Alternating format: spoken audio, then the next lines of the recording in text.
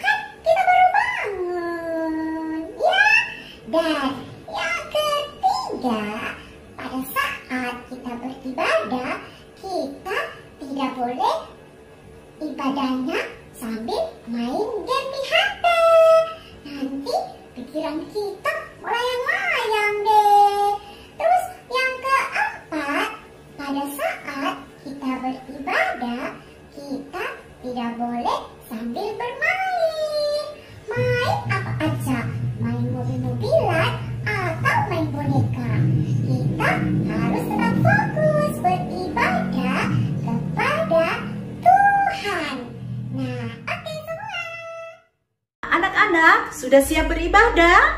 Siap ya?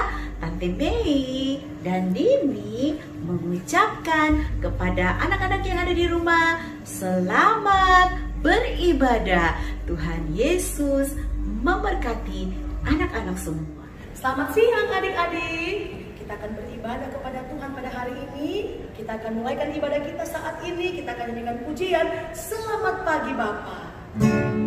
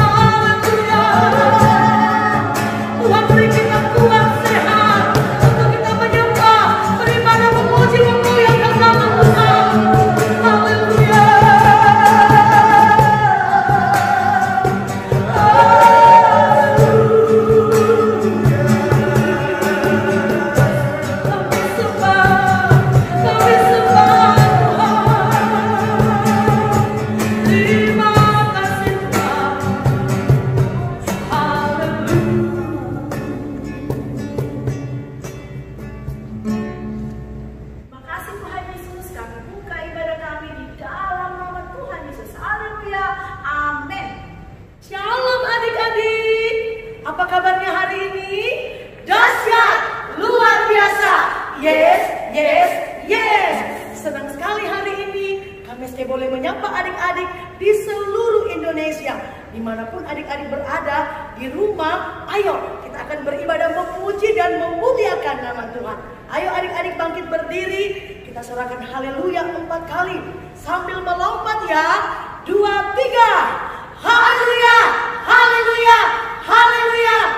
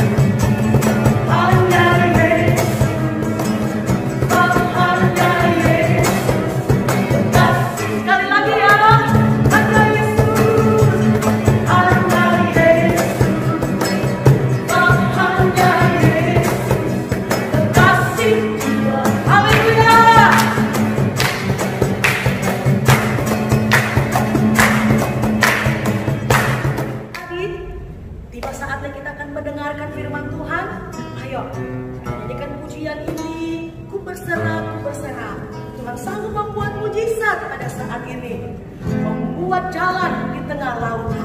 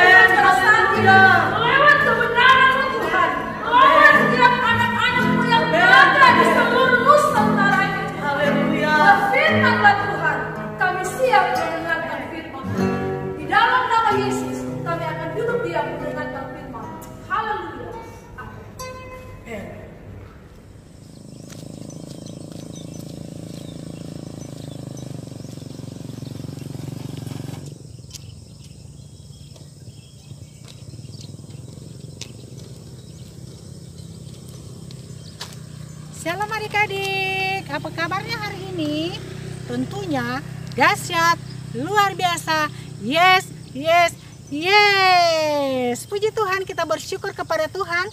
Kita kembali boleh berjumpa di dalam mendengarkan kebenaran firman Tuhan. Tentunya bersyukur kita semua dalam keadaan tubuh yang sehat, kuat, diberkati oleh Tuhan dan penuh dengan sukacita. Nah adik-adik, sudah siap dengarkan firman Tuhan? Tentunya adik-adik sudah siap ya, puji Tuhan. Nah adik-adik tentunya adik-adik sudah mempersiapkan Alkitabnya ya. Kita akan masuk di dalam firman Tuhan. Tante Yulin memberikan judul firman Tuhan hari ini. Hidup adalah suatu perjalanan. Apa adik-adik? Hidup adalah suatu perjalanan. Nah adik-adik pernahkah adik-adik mengadakan suatu perjalanan entah itu jalan kaki, entah naik pesawat, naik motor, naik naik mobil itu semua adalah suatu perjala, perjalanan. Tentunya dalam melakukan perjalanan ada banyak hal yang harus kita persiapkan ya makanan, minuman, obat-obatan. Kalau kita pergi ke tempat yang dingin ke daerah yang dingin tentunya kita akan mempersiapkan baju-baju tebal dan lain-lain sebagainya. Nah, kenapa adik-adik? Karena dalam satu perjalanan pastinya kita akan mengalami banyak tantangan, banyak kesulitan-kesulitan yang akan kita hadapi dalam perjalanan itu. Itu perjalanan secara fisik. Kita harus mempersiapkan diri kita untuk tetap fit supaya perjalanan kita sampai ke tujuan kita. Itu ada adalah perjalanan secara jasmani. Nah, adik-adik, ada dua perjalanan, perjalanan jasmani perjalanan iman atau perjalanan rohani kita perjalanan jasmani perjalanan yang sering adik-adik lakukan setiap hari. Entah dari rumah ke sekolah atau dari dari suatu tempat ke tempat yang lain. Tapi perjalanan iman atau perjalanan rohani adalah perjalanan kita menuju ke suatu tempat yang indah. Itulah sur surga adik-adik. Nah adik-adik dalam firman Tuhan ada satu bangsa yang melakukan perjalanan. Perjalanan mereka adalah dari Mesir menuju ke tanah Kanaan dari mana? Mesir ke tanah kanan. Bangsa apa itu adik-adik? Tentunya sudah tahu ya, kelas media pertama. Ayo, bangsa apa itu? Bangsa apa? Nah betul, bangsa Israel. Mereka mengadakan suatu perjalanan adik-adik. Di dalam perjalanan itu mereka mengalami banyak cobaan, banyak tantangan, banyak halangan. Karena perjalanan mereka itu bukan cuma satu dua orang, bukan satu dua mobil. Nah, dulu belum ada mobil ya. Tetapi banyak orang satu bangsa adik-adik boleh bayangkan. Satu bangsa Bagaimana itu kalau satu bangsa berjalan? Tentunya banyak halangan. Wow, banyak-banyak pendapat-pendapat yang yang akan mereka kemukakan kepada Musa sebagai pemimpin mereka pada waktu itu ya. Tentunya banyak yang mereka keluhkan, banyak yang mereka apa namanya? Sampaikan kepada Musa kami harus begini. Yang sebagian mengatakan begini yang lain mengatakan harus begini. Tetapi adik-adik walaupun mereka mengalami banyak kesulitan tetapi Tuhan menolong mereka dalam perjalanan itu. Karena yang membawa mereka, yang memimpin mereka adalah Allah yang berkuasa.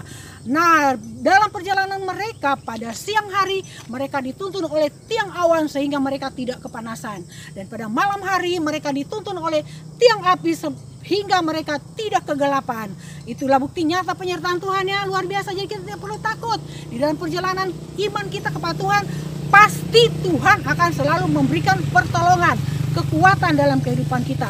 Adik-adik, ada banyak halangan. Salah satunya adik-adik ketika mereka sudah keluar dari Mesir adik-adik, nah mereka sampai ke Laut Teberau yang begitu luas. Bagaimana caranya mereka akan menyeberangi? Sedangkan di belakang mereka dikejar oleh tentara Firaun dengan 600 kereta kuda yang diperlengkapi untuk berperang adik-adik mengejar mereka untuk membawa mereka kembali ke Mesir sebab mereka tidak mau bangsa ini keluar dari Mesir ya karena mereka akan menjadikan bangsa ini budak mereka akan me, mereka akan menyuruh mereka untuk bekerja paksa bekerja yang berat-berat.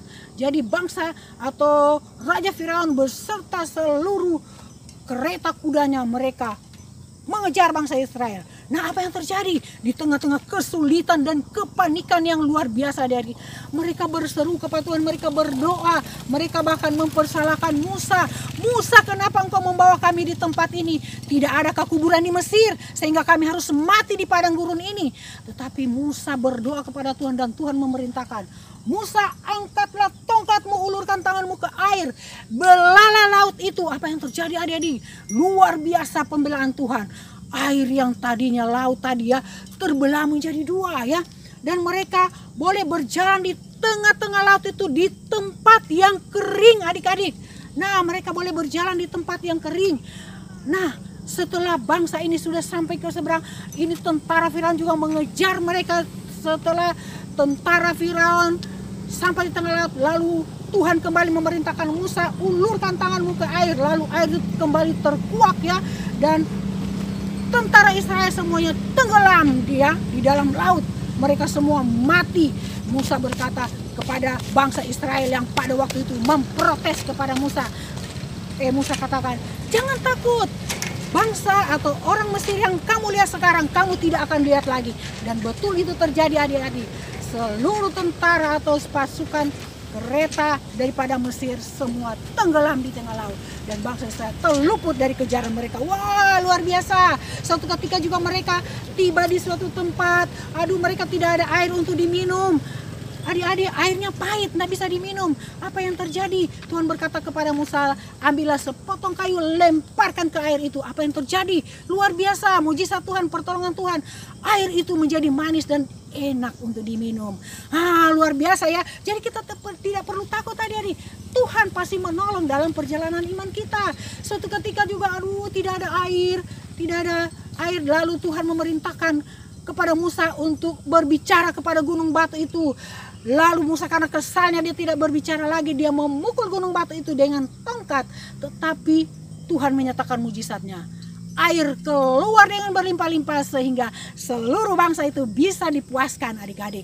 Nah adik-adik ketika mereka tidak ada makanan Tuhan mengirimkan roti mana dan burung puyuh sebagai makanan mereka. Jadi adik tidak perlu takut. Nah dalam dunia ini ada dua perjalanan ya dan dalam perjalanan rohani atau perjalanan ini kita juga ada dua jalan.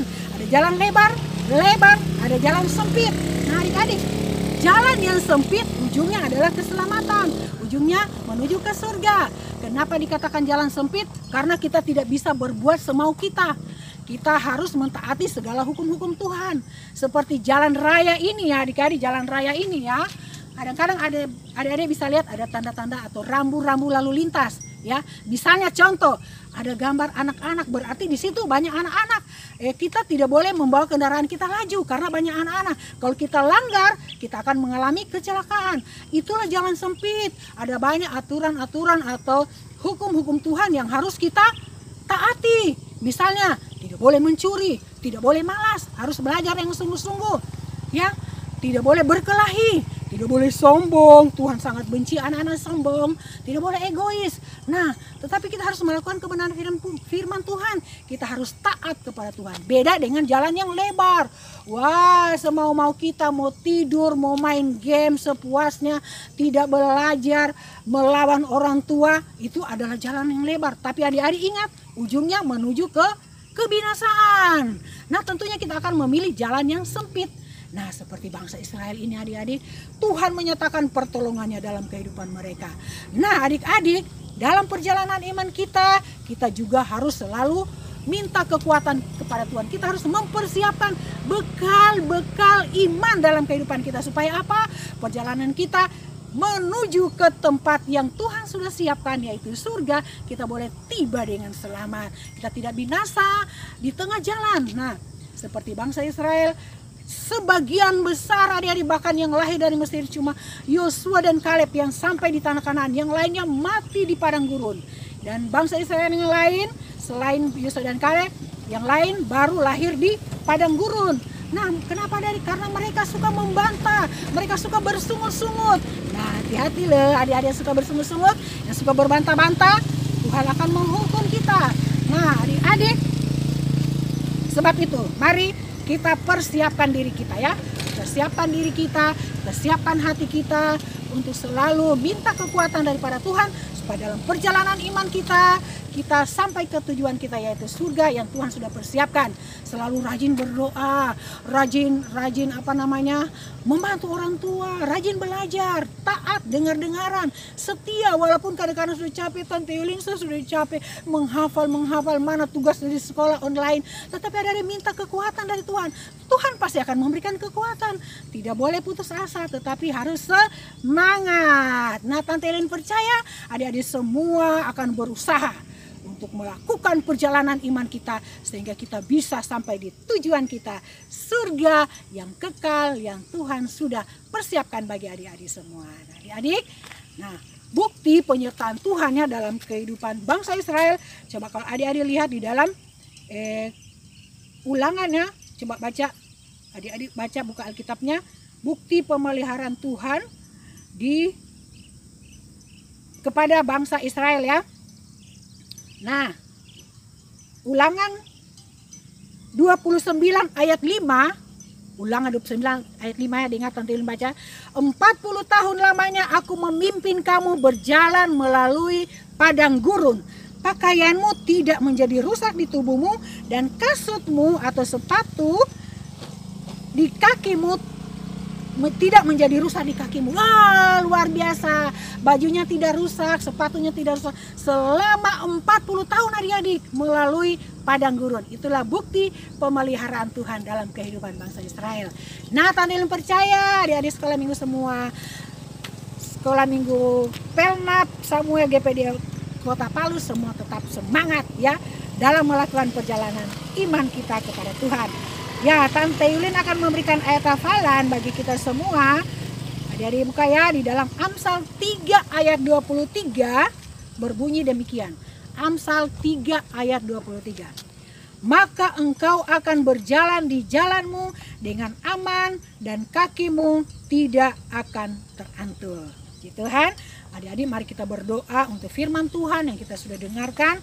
Sekiranya firman Tuhan boleh menjadi kekuatan tetap akan kembali memberikan semangat bagi kita. Wah, firman Tuhan berkata, jangan bosan, jangan putus asa, tetapi harus tetap semangat. Kunci tangan, tutup mata, kita berdoa kepada Tuhan. Tuhan Yesus kami bersyukur buat firman-Mu yang kami sudah dengarkan pada saat ini. Tanamkan firman-Mu dalam kehidupan anak-anak sekolah minggu. Tuhan Yesus, Roh Kudus-Mu menjelaskan lebih jauh agar mereka boleh mengerti setiap kebenaran-Mu yang mereka sudah dengarkan dan mereka boleh melakukannya dalam kehidupan mereka setiap hari. Dari kecil hingga dewasa nanti mereka boleh menjadi anak-anak yang taat, setia, dan dengar-dengar kepada Tuhan teristimewa menjadi mereka menjadi anak-anak yang kuat di dalam Tuhan. Sehingga mereka tidak akan terpengaruh dengan Mesir-Mesir yang akan membawa mereka jauh daripada Tuhan. Tetapi mereka akan senantiasa setia kepada Tuhan dalam kehidupan mereka. Tuhan Berikan hikmat, akal budi, kecerdasan, kepandaian dalam mereka menuntut ilmu. Jadikan mereka anak-anak yang taat dan dengar-dengaran kepada kedua orang tua mereka. Teristimewa dengar-dengaran kepada Tuhan. Tuhan Yesus, kalau anak-anak sekolah minggu ada yang sakit, Tuhan engkau jamang kau sembuhkan di dalam nama Yesus yang sudah mulai malas, yang sudah mulai bosan. Tuhan kembali berikan sukacita dalam kehidupan mereka Tuhan. Berikan semangat yang baru dalam kehidupan mereka ya Tuhan. Terima kasih berkati studi mereka, berkati orang tua mereka ya Tuhan. Terima kasih kami sudah mendengarkan firman-Mu. Dalam nama Tuhan Yesus kami sudah berdoa. Sama-sama katakan, Amin. Puji Tuhan adik-adik. Sampai jumpa minggu depan. Tuhan Yesus memberkati adik-adik semua. Haleluya saat ini kita akan memberikan persembahan ya. Mari kita belajar, beri yang terbaik buat Tuhan. Nanti persembahannya setelah itu dikumpul kepada guru-guru sektor atau dibawa langsung ke gereja sama tante Miske di gereja. Oke? Mari kita beri persembahan untuk Tuhan.